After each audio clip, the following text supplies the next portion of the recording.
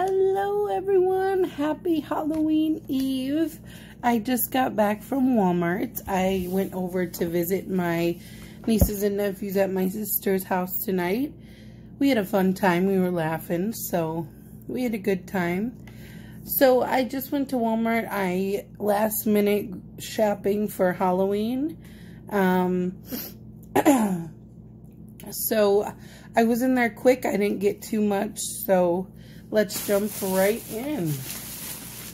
Alright, so I got some top ramen. My nephew loves these. Just dry out of the package. He don't like them cooked, so I got him three of those. I got Ortega tortillas for quesadillas. Hawaiian sweet roll buns. And a pound of Sara Lee honey ham from the deli. This was seven twelve. Okay, smells so good. And then I got um, original mac and cheese cups. And I got two thing of mini beef ravioli. And then I got four of the spaghetti with meatballs because I'm going to have the kids again this weekend. Okay.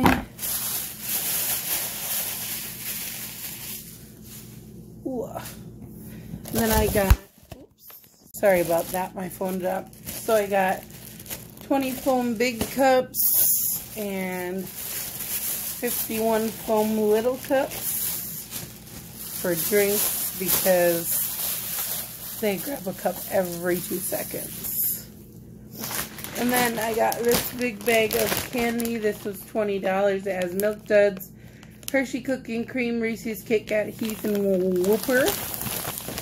And then I got this 400 piece SweeTarts, Laffy Taffy, Sprees, and Gobstoppers. that was also $20.